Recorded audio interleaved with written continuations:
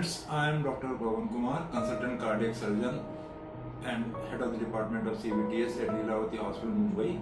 In continuation of our last videos where we discussed about stents versus bypass surgery in coronary artery blocks, uh, there are many reasons for these stents getting blocked off.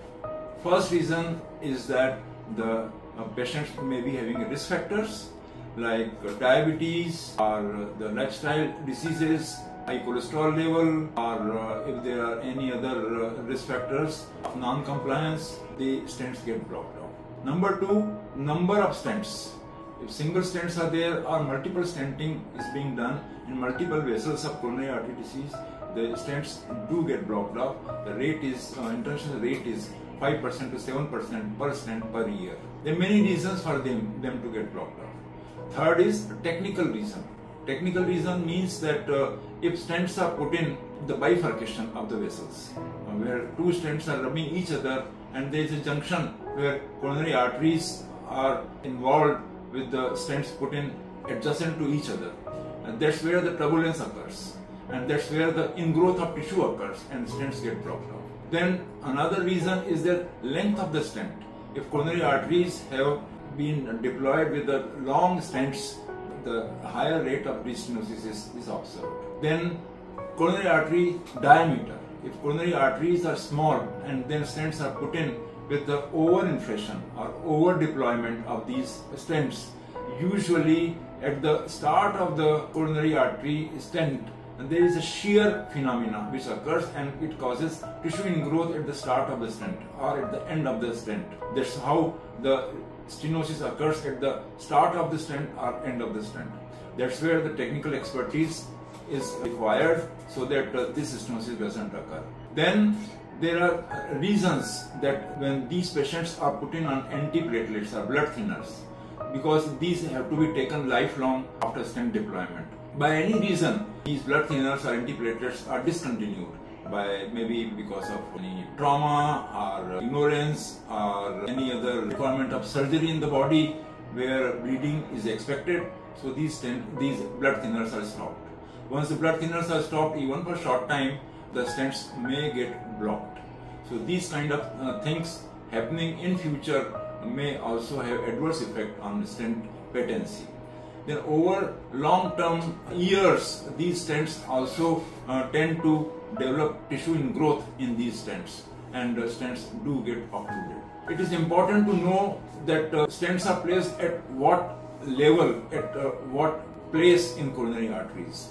If stents are placed right from beginning, like from left main or early bifurcation of origin of circumflex artery or at the LAD level with the multiple stenting involving two more than two vessels, these are uh, seen in future that these, uh, at these places these stents also do get blocked off. So it is important for you to keep in mind that uh, those patients, those who require uh, coronary artery stenting, they must know these risk factors before uh, taking a decision about coronary artery stenting.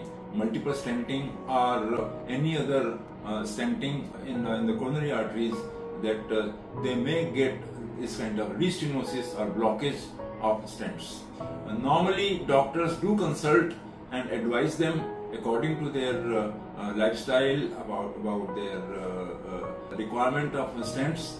But at the same time, you should also be aware, and the knowledge is key that whether multiple stenting is advisable in your coronary artery disease or you should opt for coronary artery bypass surgery.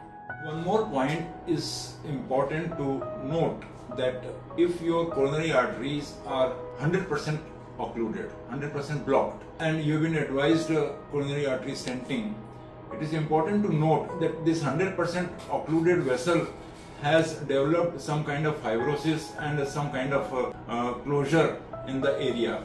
And usually cardiologists take long time to find a channel in which a balloon is inserted and then stent is deployed. But that area was totally closed. So in that area, the repeat occlusion is well known and it has higher incidence of closure.